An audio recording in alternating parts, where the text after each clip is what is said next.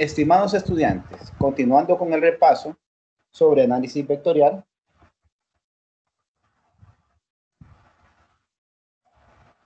se había asignado una tarea. La tarea consistía en determinar la magnitud de este vector R, que podemos apreciarlo aquí. Este vector R.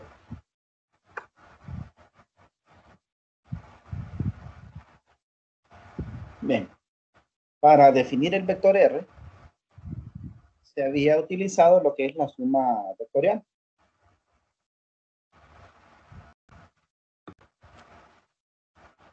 Es decir, que tenemos esta figura que podemos ver aquí. Y esta figura de aquí es equivalente a los vectores que se definieron. ¿Cómo se hizo? Bueno, Tenemos definido un vector que va desde el origen hasta este punto. Y a ese vector le llamamos V3. Y hay otro vector que va desde el origen hasta este otro punto, que es la, la cola del vector R. Y a ese vector le llamamos V4. Como usted recuerda, la suma de vectores por el método gráfico, tenemos la cabeza de un vector, que es el V4, con la cola del vector R. Y ese, esa suma vectorial es equivalente al vector V3. Es decir, esta ecuación de aquí. Cuando despeja para encontrar el vector R, pues es una resta. Las componentes de los vectores eh, V3 y 4 son estas de aquí. Tendríamos en la dirección de X para el vector V3 R1 coseno del ángulo alfa. Y en la dirección de Y, R1 seno del ángulo alfa. Similar para el vector V4 se sustituyen las, las componentes de los vectores. Agrupando en X tenemos esto. Y agrupando en Y, este sería el resultado. Bien. Utilizando posteriormente la definición de, de la magnitud, pues simplemente la componente en X, que es esta de aquí, se le va al cuadrado se suma con la componente de y también al cuadrado y por último se le saca la raíz a todo esto. Es lo que tenemos aquí. Posteriormente hay que simplificar un poquito. Entonces se desarrolla el cuadrado. Vamos a tener este término de aquí al cuadrado. Este término de aquí va a quedar positivo al cuadrado. Y el producto de estos dos términos pues va a quedar con signo negativo. Como tenemos R1, coseno cuadrado de alfa, y de aquí del otro lado va a aparecer R1 cuadrado, seno cuadrado de alfa, pues se utiliza la identidad. La identidad que seno cuadrado más coseno cuadrado del mismo ángulo es igual a 1. Así tenemos al final que queda un R1 cuadrado. Lo mismo va a ocurrir con el R2. Cuando desarrolle el cuadrado, tiene R2 cuadrado coseno de beta cuadrado. Y de aquí sale también un R2 cuadrado seno cuadrado de beta. Se usa la identidad de seno cuadrado de un ángulo más coseno cuadrado del mismo igual a 1. Y pues solo nos queda el R2 cuadrado. Por último, el producto de estos dos términos da negativo dos veces R1, R2 y el producto de los dos ángulos, que es esto que aparece aquí. Y el producto en el otro término, pues otra vez es negativo 2 R1, R2, que se ha sacado de, factor común acá. Y lo que cambia es el producto de el seno de alfa con el seno de beta. Se tiene aquí de factor común también Esto se puede apreciar que es una identidad relacionada con em, lo que es el coseno de, de un ángulo menos otro. En este caso se ve en la figura que el ángulo mayor es beta. Por eso al final se expresa la ecuación en esta forma. A esto había que llegar en la tarea.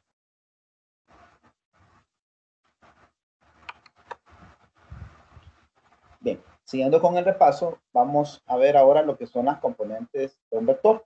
En realidad ya se ha hablado un poquito acerca de esta, ¿verdad?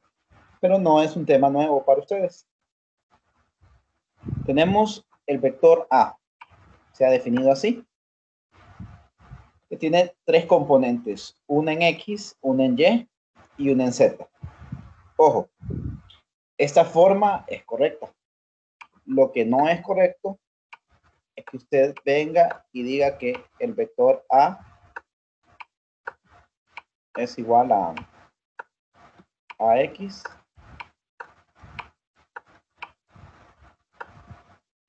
más a Y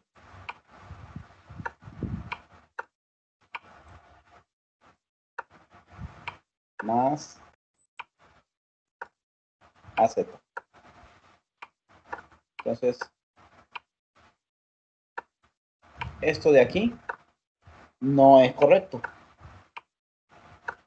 ¿Por qué razón no es correcto? Bueno, porque en la notación esto se utiliza para escalares. Este es otro escalar y este es otro escalar. Entonces, si usted quiere trabajar con esa notación, va a tener que usar los vectores unitarios. Ya se había explicado en la clase anterior que el i unitario usábamos para el libro de texto de este curso se le llama X unitario, que el J unitario, que también debe estar acostumbrado a usarlo, para el libro de texto es Y unitario, y que el K unitario que utilizaba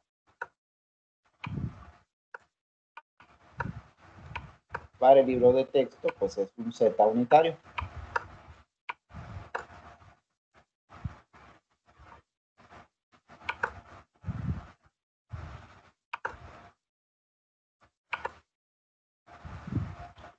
La magnitud, pues, es la raíz de la suma de las componentes al cuadrado, ¿verdad? ax cuadrado más ay cuadrado más az cuadrado.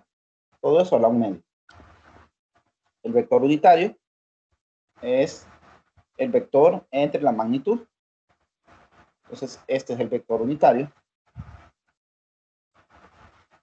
Vamos a hablar un poquito más de detalle acerca de este vector unitario. Para ello vamos a hablar de los cosenos directores.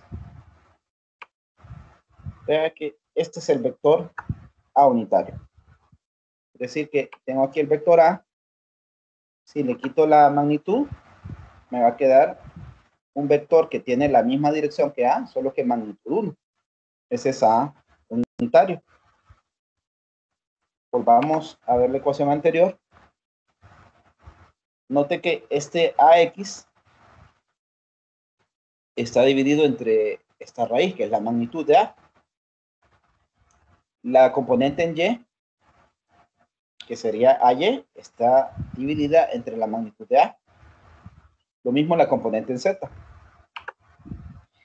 ¿Eso qué quiere decir? Bueno, quiere decir que el LX, que está aquí, que se le llama coseno director, sería igual a la magnitud de AX sobre A. ¿Quién sería un L sub Y? Bueno, sería la componente en Y, A sub Y, entre la magnitud de A. Y esto pues sería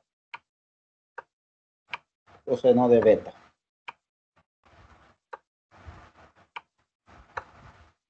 de forma similar es para L sub Z. Sería un coseno de gamma. Aquí tenemos los ángulos alfa, que es el ángulo que forma el vector A con el eje X. Beta, el ángulo que forma el vector A con el eje Y. Y gamma, el ángulo entre el vector A y el eje Z. Estos tres ángulos se conocen como ángulos directores. Hablemos ahora un poquito de la magnitud de A. Como este es un vector unitario, su magnitud es 1. Si tomamos la magnitud y la elevamos al cuadrado, pues va a seguir siendo 1, como aparece acá. Y la magnitud al cuadrado, pues sería la componente en x al cuadrado, que es L sub x, más L sub y al cuadrado, más L sub z al cuadrado. Y esto es igual a 1. Es decir que coseno cuadrado de alfa más coseno cuadrado de beta más coseno cuadrado de gamma igual a 1.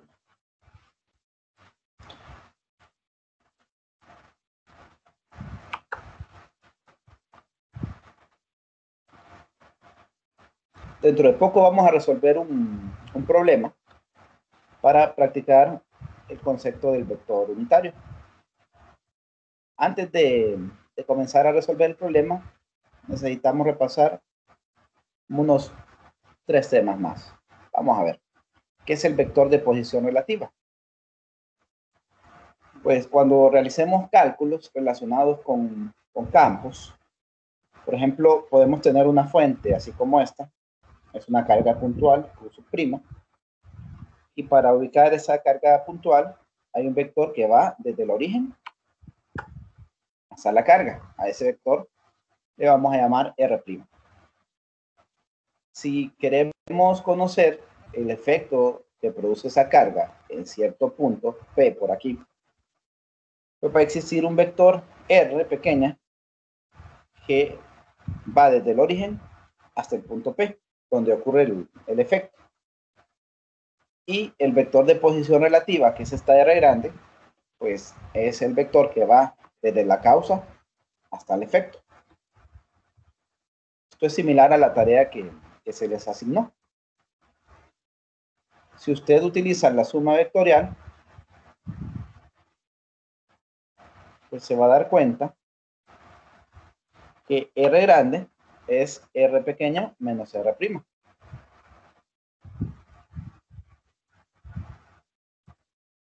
Como estos puntos que estamos considerando son generales, es decir, son puntos en tres dimensiones, vamos a decir que R pequeño sería X en X más Y en Y más Z en Z en general.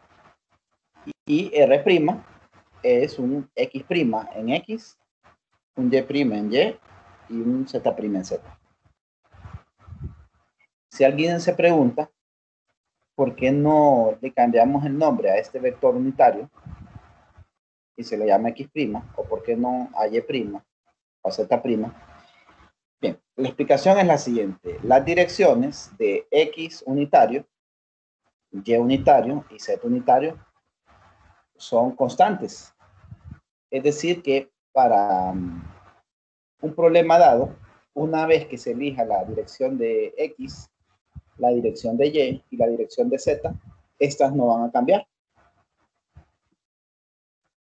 Nuevamente, X unitario, Y unitario y Z unitario son vectores constantes. Bien, sustituyendo quién es e, R y R' y agrupando sus componentes, pues se tiene esta definición general para el vector de posición relativa.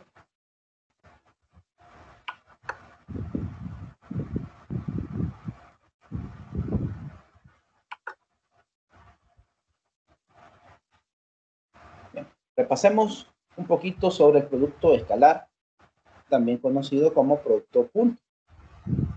Si se tiene dos vectores A y B, el producto escalar o producto punto se define en esta forma. La magnitud de A la magnitud de B y el coseno del ángulo entre ellos. ¿Para qué me sirve el producto escalar? Bueno, tiene distintas aplicaciones. Por ejemplo, para determinar el trabajo que realiza una fuerza a lo largo de una distancia. Si se quiere determinar las direcciones de uno o varios vectores o sus componentes, pues se puede utilizar el producto escalar. También en áreas un poco más avanzadas de la física, cuando se requiere hacer cálculos relacionados con espacios vectoriales, se utiliza el producto escalar, entre otras aplicaciones.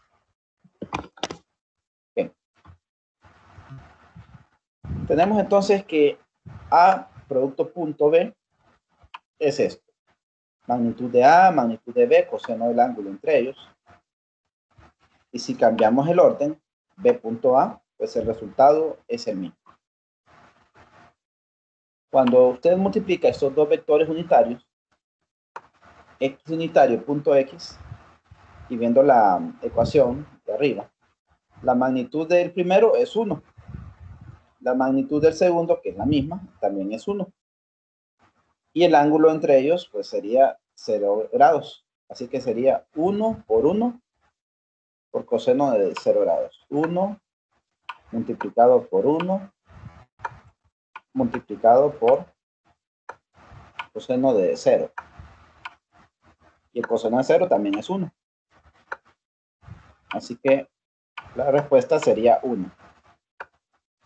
Esto tanto para x unitario punto x como y unitario punto y y también para z punto z. Ahora, si multiplicamos vectores unitarios diferentes, como aparece abajo, el ángulo que forma x unitario con y unitario es de 90 grados. Al ser estos vectores ortogonales, pues el resultado me daría 0, ya que es la magnitud del primero, 1, la magnitud del otro, que también es 1 por ser unitario, y coseno en este caso son 90 grados. O si trabajo en radianes son pi medios. Pues como usted recuerda, el coseno de pi medios me da 0. Así, todos estos, que son distintos y forman ángulos de 90 grados entre sí, dan igual a 0. Si lo analizamos por componentes, como usted puede apreciar a la derecha, tenemos aquí el vector A definido con tres componentes, cada una en una dirección, lo mismo con el, el vector perdón, B. Hacemos el producto interno entre ellos. Y pues cuando multiplica X, punto X, eso me va a dar 1. Sin embargo, cuando lo multiplica con Y y cuando lo multiplica con Z, el resultado va a ser 0. Entonces, de las tres operaciones solo queda una. Solo queda A sub X por B sub X. Lo mismo ocurre con la componente en Y y con la componente en Z.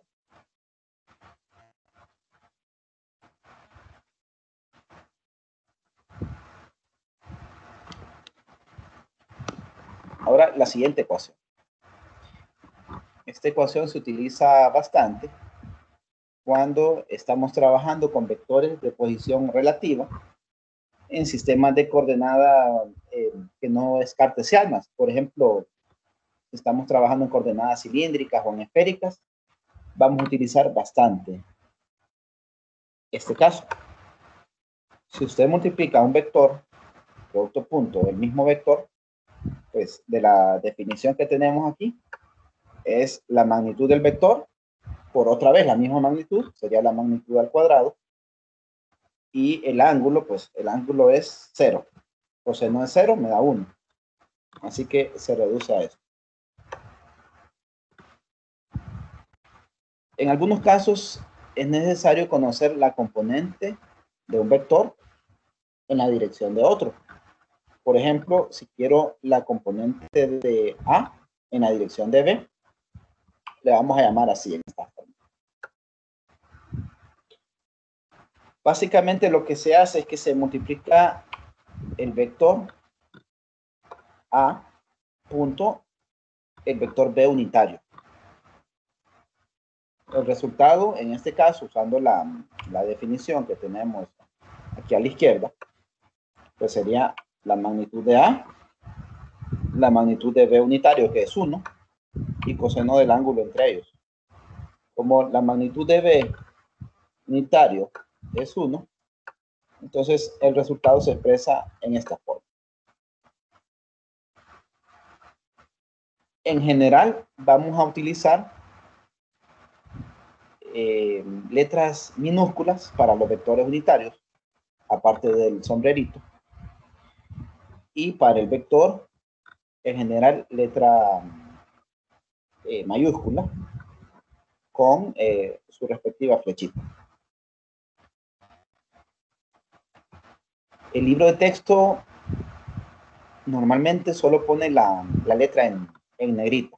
Entonces, cuando el libro de texto coloque la letra en negrita, pues se va a estar refiriendo a un vector.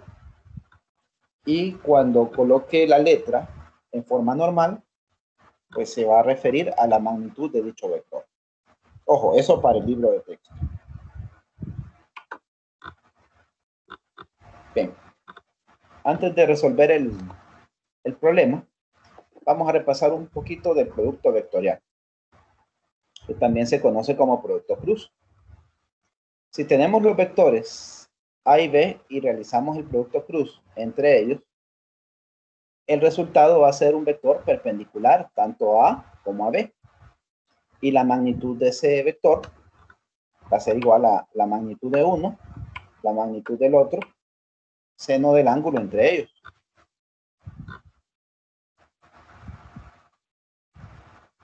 Ahora, para determinar la dirección, hacemos lo siguiente. Se utiliza la regla de la mano derecha. Trate de, de seguirme con su mano derecha, doble los dedos de la mano derecha e imagine que puede hacer girar el vector A sobre el vector B con dichos dedos. Si usted se imagina que A y B los puede hacer girar, pero en este caso va a hacer girar A porque es el primero que se escribió sobre el segundo que se escribió, que es B. Usted debe seguir el ángulo más corto. El ángulo más corto es este de aquí. El dedo pulgar le indica el resultado del producto de A con B. Veamos para dónde iría.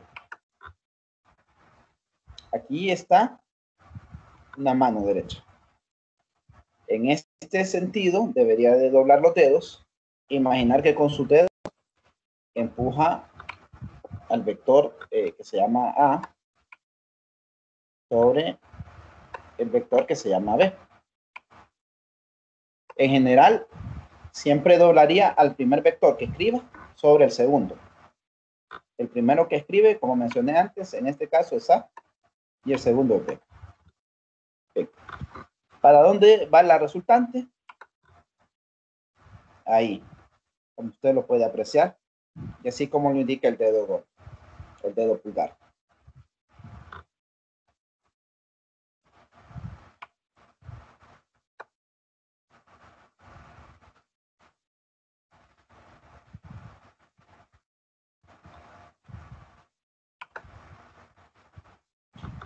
Ahora, supongamos que el producto es B cruz A. O sea, ahora el que se escribe primero es el vector B. Y luego el vector A. Repitamos el análisis con su mano derecha. ¿Para dónde saldría la resultante? Bien, así sale la resultante. Pues como usted puede notar, en este caso es importante quién va primero y quién va después, ya que ha cambiado el sentido. De aquí que A cruz B es igual a negativo B cruz A.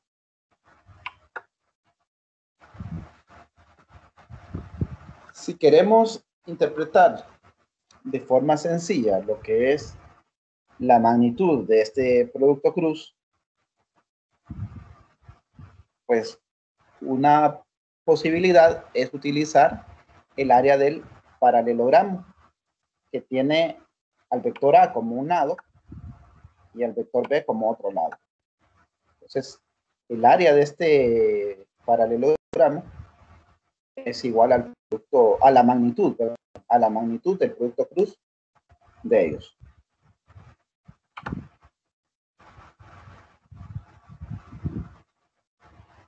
Entonces, esto de aquí es igual a A por seno del ángulo teta. la magnitud de A por seno del ángulo teta.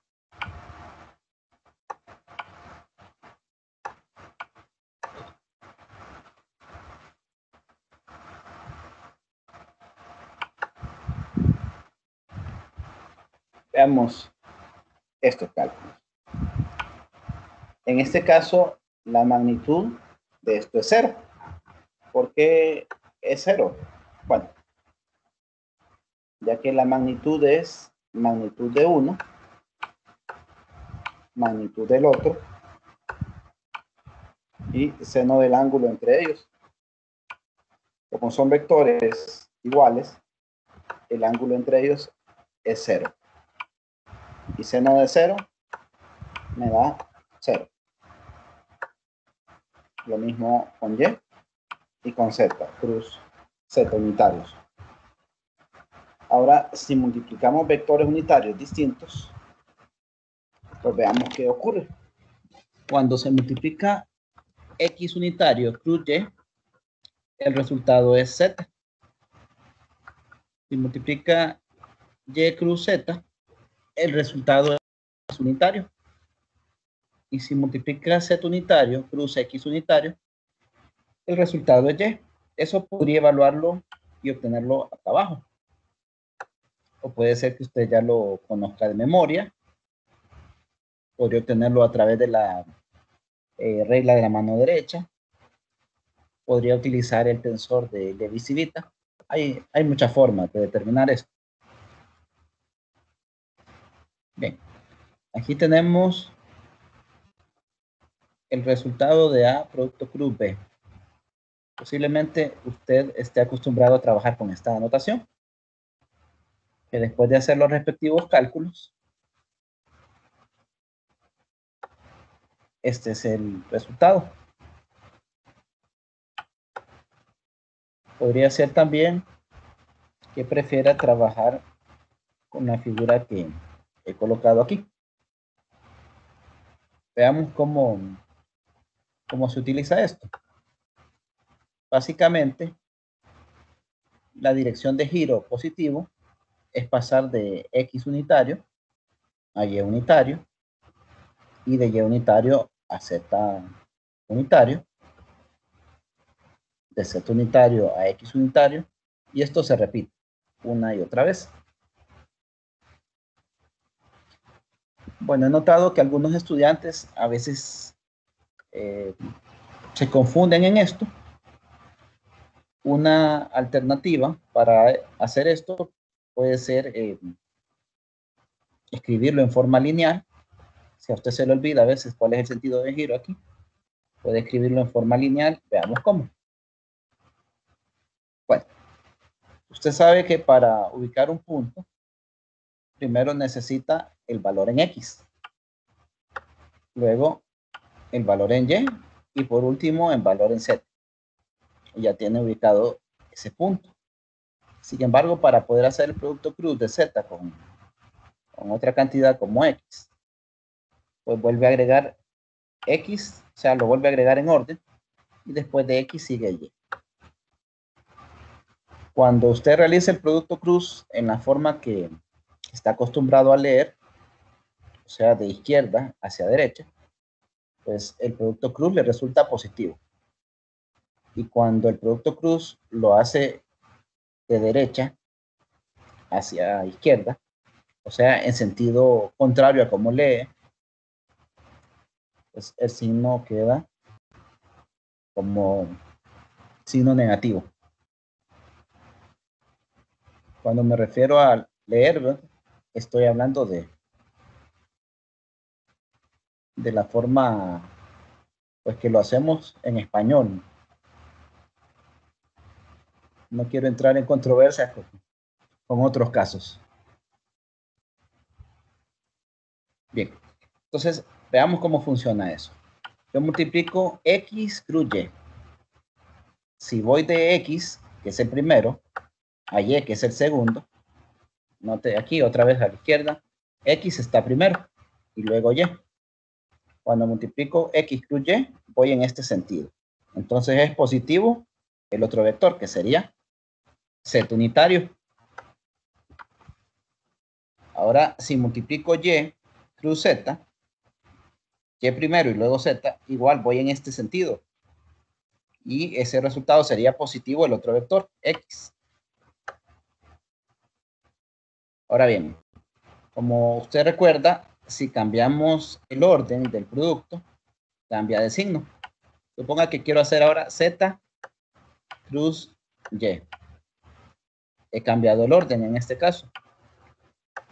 Entonces, obviamente, el resultado debería ser negativo x. Veamos cómo se obtiene. Si usted no recuerda esto. Bueno. Si multiplica z cruz y, z va primero. No puedo pasar de z a y aquí. No puedo pasar de z a y aquí. ¿Por qué no? Porque ahí está x. Entonces, para hacerlo, para hacerlo, Z tendría que hacerlo de derecha hacia izquierda. Tendría que hacerlo hacia acá. Ir de Z hacia Y, de derecha hacia izquierda. Como voy en ese sentido, la resultante es negativo el otro vector, negativo X.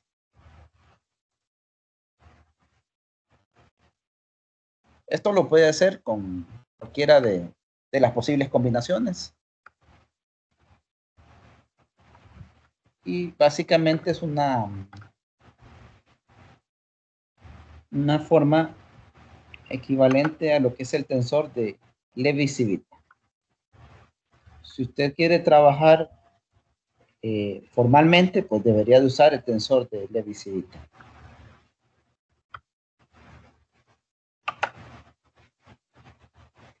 Muy bien. Veamos el problema. Este problema es del libro de Ulavi. Dice, dados los vectores A igual a X unitario más en Y2 menos en Z3, el vector B tiene componente en X2, tiene componente en Y negativo 4, no tiene componente en Z y el vector C tiene componente en Y2 y tiene componente en Z negativo 4. Note que C no tiene componente en X. Le piden determinar la magnitud de A y el vector A unitario. Luego le piden la componente de B a lo largo de C.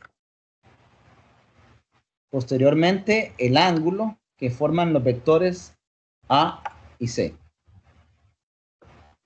En el inciso D, el producto cruz entre el vector A y el vector C. Y en el inciso E, el producto interno, producto escalar de A con este producto cruz de aquí. Bien. Solución. Pues para sacar la magnitud de A solo utilizamos la ecuación que ya conocemos, la raíz cuadrada.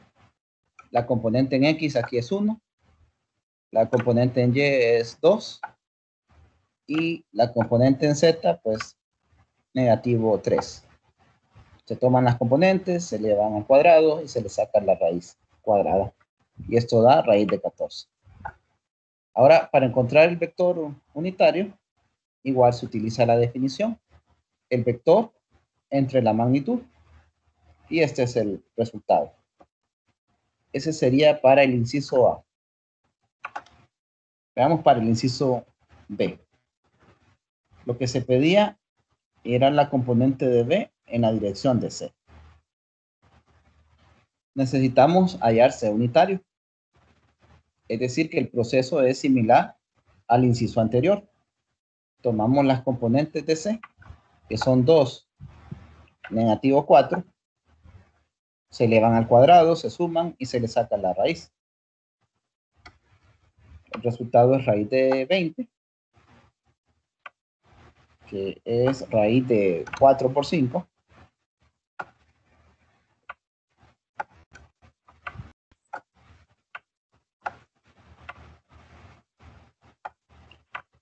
Bueno, el 4 sale de la raíz como un 2. Y queda entonces 2 raíz de 5. Luego se calcula el vector C unitario, dividiendo el vector C entre la magnitud. Se simplifica aquí, ¿verdad? 2 con 2. Queda 1 sobre raíz de 5.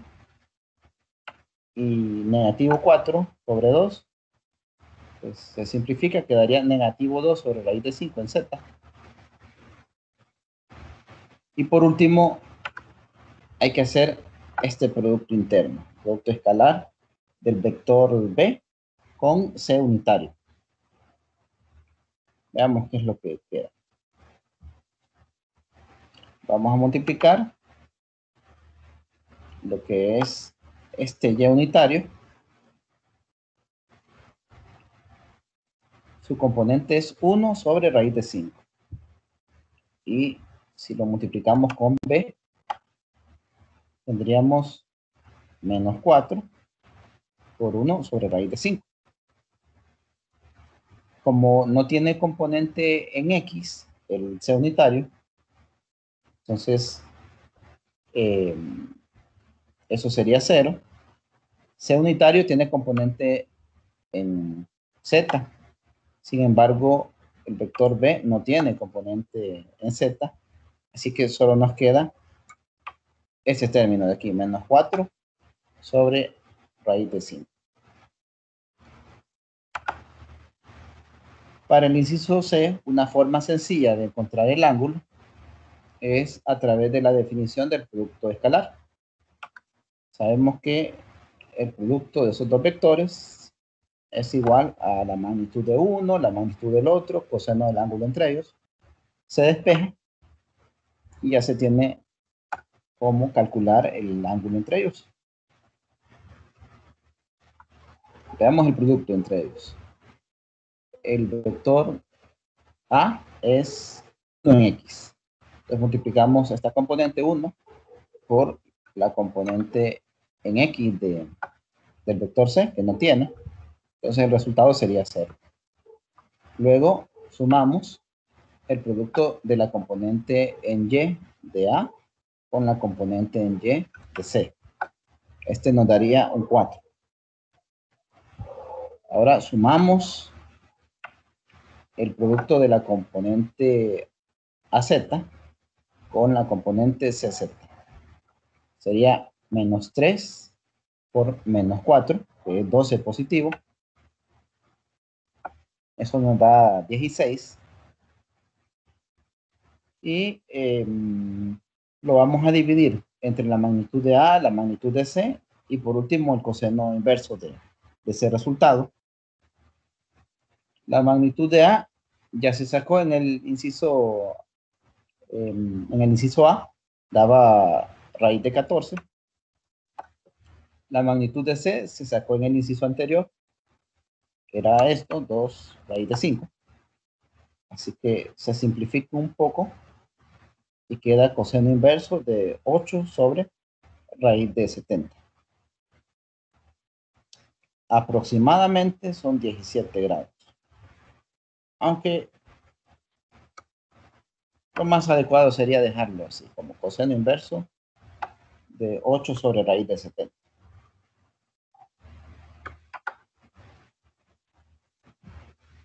Ahora bien, el producto cruz de A con C. Básicamente utilizo esta ecuación que ya se había mm, repasado previamente.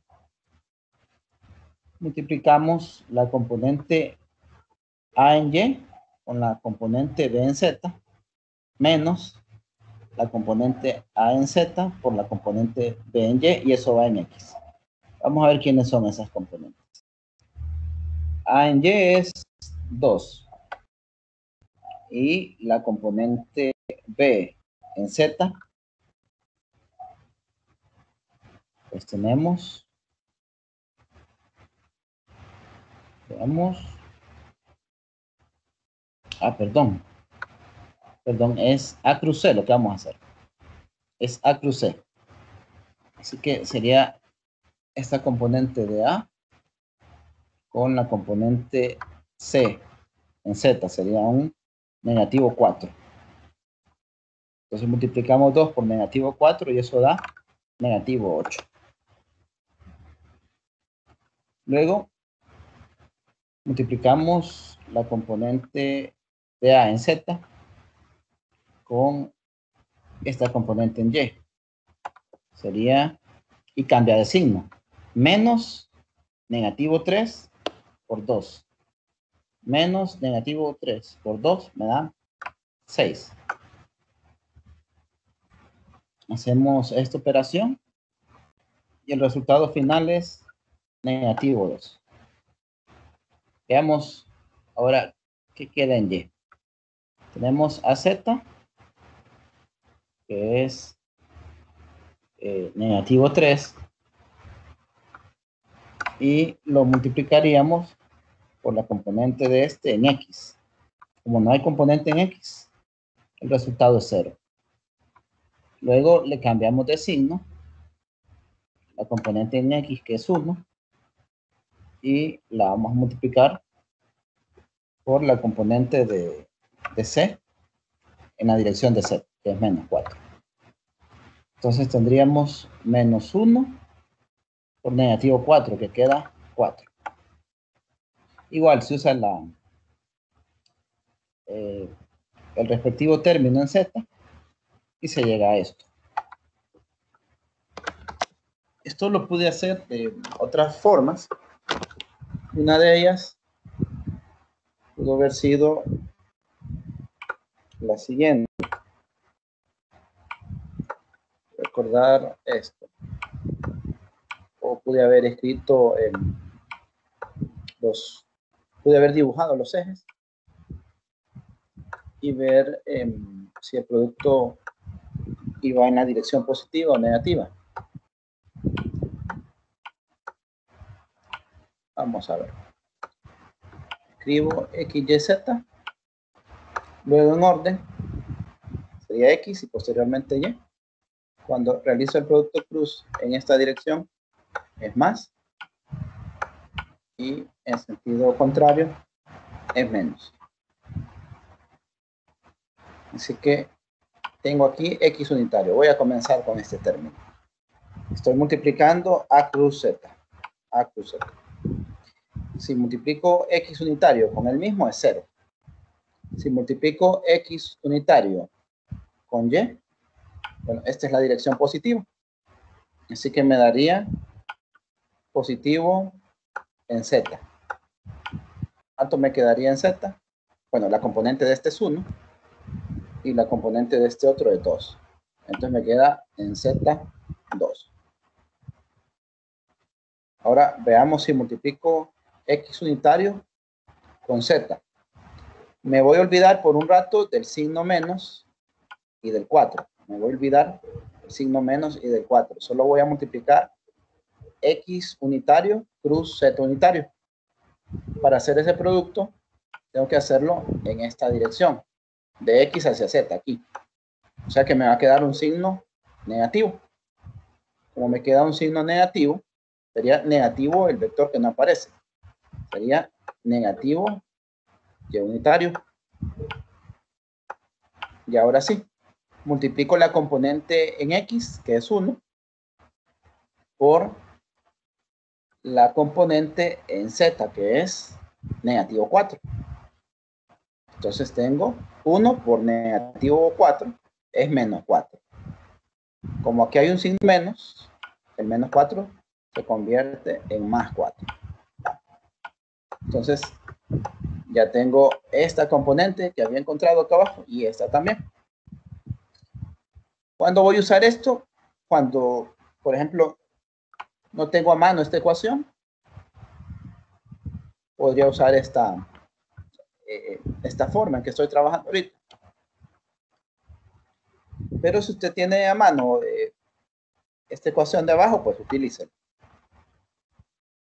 Ahora vamos a multiplicar y. Multiplico y cruz y unitario y eso es cero. Multiplico y unitario cruz z. Me olvido de las magnitudes otra vez. Y y cruz z mire, va de Y a Z, va en la dirección positiva, o sea, sería positivo X.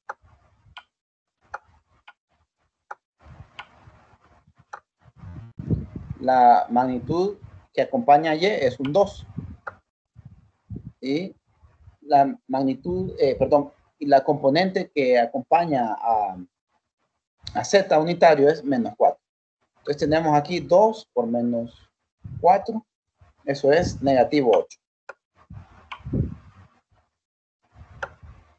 Ahora veamos la última componente, que es en z negativo 3.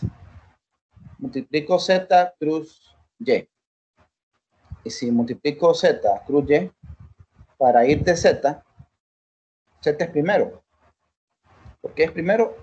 Porque está escrito primero el vector a y posteriormente está escrito el vector C. Entonces Z sería primero, vamos hacia Y, es en la dirección eh, que aparece el negativo. Entonces tendríamos un negativo, en este caso, y ahora veamos la eh, las componentes, perdón. Las componentes son menos 3, lo voy a multiplicar por 2 menos 3 por 2 es negativo 6. Y como aquí hay un menos, menos por menos, le va a dar un más. Va a quedar positivo 6. Así obtenemos este mismo resultado. Hacemos la operación y se obtiene esta misma respuesta.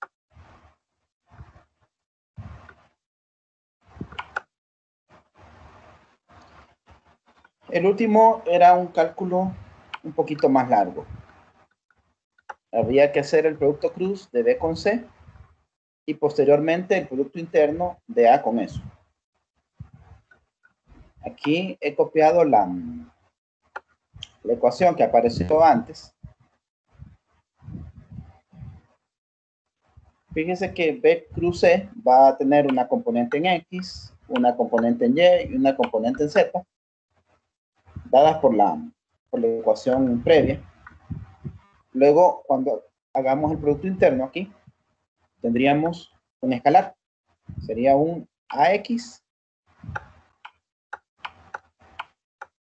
que multiplicaría esto. Ya la componente en X va a desaparecer. Aquí va a aparecer un AY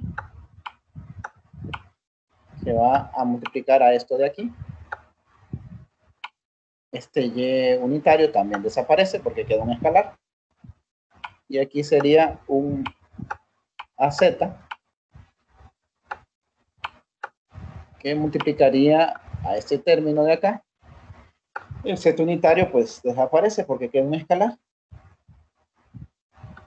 Y este es el resultado.